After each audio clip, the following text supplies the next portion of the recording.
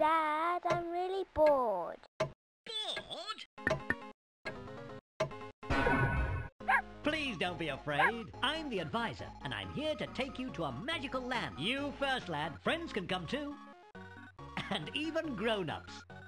Roll up, roll up for the greatest show on earth. Wow!